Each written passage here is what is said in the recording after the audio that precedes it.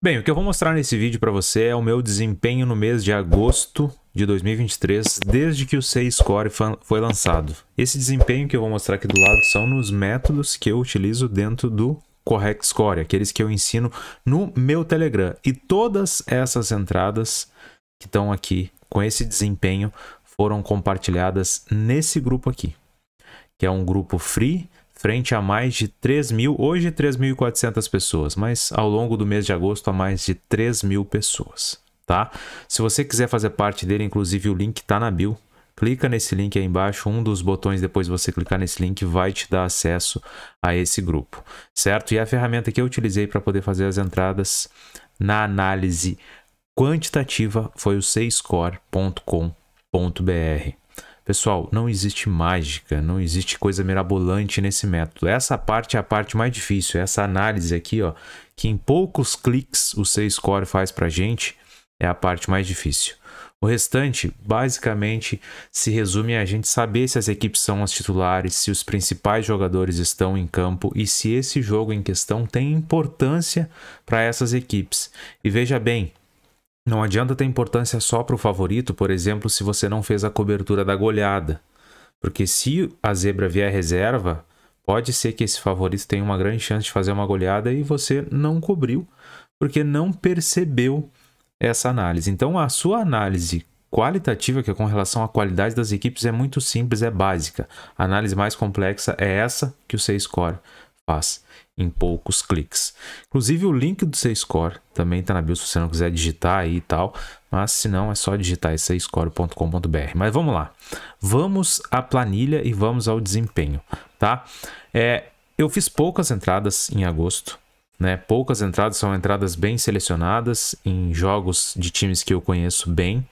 Compartilhei todas lá no Telegram. Até acho que eu falei todas, mas talvez tenha uma que eu não tenha compartilhado. Vamos para a aba de agosto e vamos para cá. Vou até já começar com essa que eu não compartilhei, que foi a única que eu lembrei agora conversando aqui com vocês. Eu lembrei disso, que foi essa daqui, ó. Cagliari e Inter de Milão, no dia 28, agora há pouco tempo. Por quê? Porque foi uma que eu usei para fazer um vídeo. Eu não quis compartilhar com vocês no Telegram porque eu fiz o vídeo depois eu passei para que vocês pudessem ver o vídeo todo o ensinamento que eu tive de uma escolha de como fazer a escolha de jogos entre esse jogo e um outro jogo que tinha no dia que era interessante tá? Mas então aqui, ó, como você pode ver, são 14 entradas apenas. A ferramenta foi lançada, se eu não me engano, no dia 8, a partir do dia 11.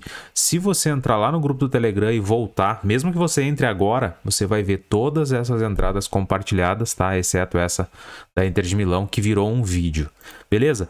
E de todas essas entradas, praticamente eu tive dos 14 foram 13 greens e apenas um red. Isso me colocou numa posição de 300, ah, basicamente 350% sobre o valor da stake, tá? Como eu uso stake alternada, às vezes eu tô com meia stake da minha stake principal para esse método que é de mil reais e teve uma ocasião que eu usei 100 porque era uma ocasião que eu não ia acompanhar esse jogo e eu tinha combinado com vocês da gente trabalhar junto a nível de aprendizado e até é bom deixar isso claro o grupo esse é um grupo de aprendizado não é um grupo de tips por isso que eu não volumo tanto lá dentro desse grupo também, porque senão ele acaba se tornando um grupo de tips e não é o intuito desse grupo. O intuito é que a gente aprenda juntos, que vocês aprendam comigo a fazer e aplicar esses métodos. Beleza? Mas vamos lá, vamos às especificidades. Se você ainda não tem essa planilha, o link dela também está aqui na descrição para você baixar. Baixar não, você pode, você entra nela, clica em arquivo e bota aqui, ó, fazer uma cópia. E aí você pode mexer nela no seu computador, escrever as suas entradas à vontade que você quiser tá? O lucro que eu obtive aplicando com a gestão que eu fiz foi de 2,438, embora tenham sido 3 stakes e meia, porque teve situações em que eu usei metade da stake, tá? Com relação aos métodos, vejam bem, ó, no método de médio alto risco, que são 5 coberturas, foram praticamente 50%. No médio risco, 85%.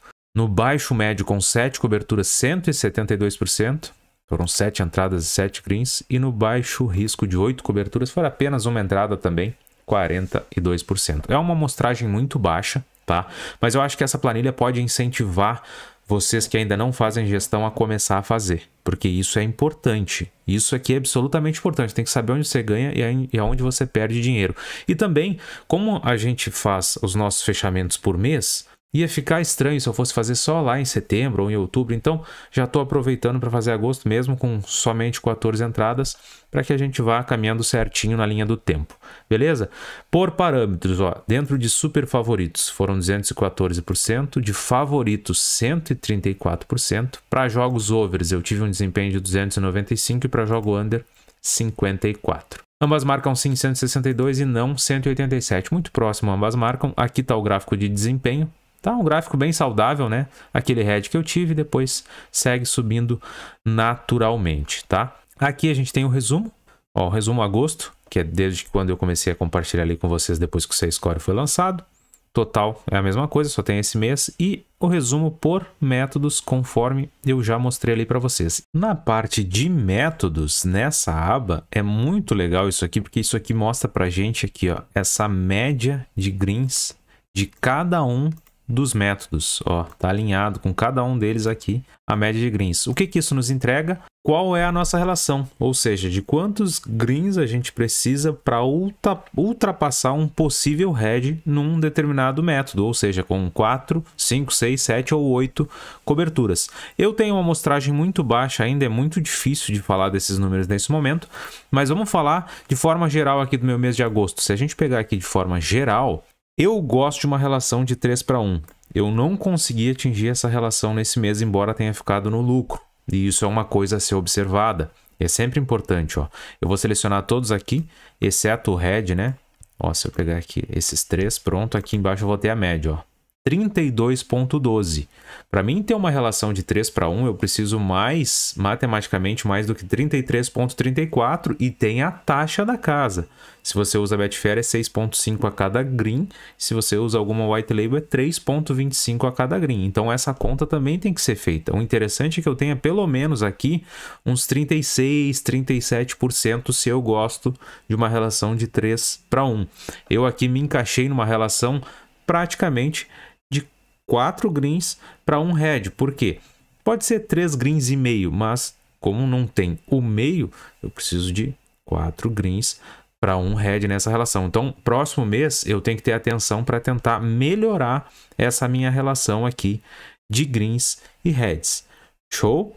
Tá? Voltando lá para nossa querida aba dos métodos, além dessa relação, a gente tem aqui a soma dos heads, média de, de heads, relação, ele já te aponta aqui, win rate, que são coisas que eu vou conseguir mostrar melhor quando tiver mais volume de entradas. E aqui embaixo, tá? Cada um dos métodos a depender do mês que ele foi operado, ó, vai para todos para agosto, obviamente, e aqui está o acumulado, tá? Bem como os gráficos do mês em si e o acumulado de cada um deles. Beleza? Incentivo vocês totalmente a fazer as gestões. Eu vou deixar aqui aparecendo na tela, caso vocês queiram conferir cada uma das entradas que eu fiz. E eu espero que isso te mostre o quanto é possível fazer essa metodologia ser absolutamente lucrativa fazendo as coisas da forma certa, tá? Em setembro eu volto, vamos ter volumado mais. Eu não sou o único que está obtendo lucro disso, eu tenho pessoas que, inclusive eu postei lá no meu Instagram com mais de 900% de lucro, outras pessoas com mais de 500% de lucro. Já recebi print até de saque de quem está acompanhando esses métodos. Isso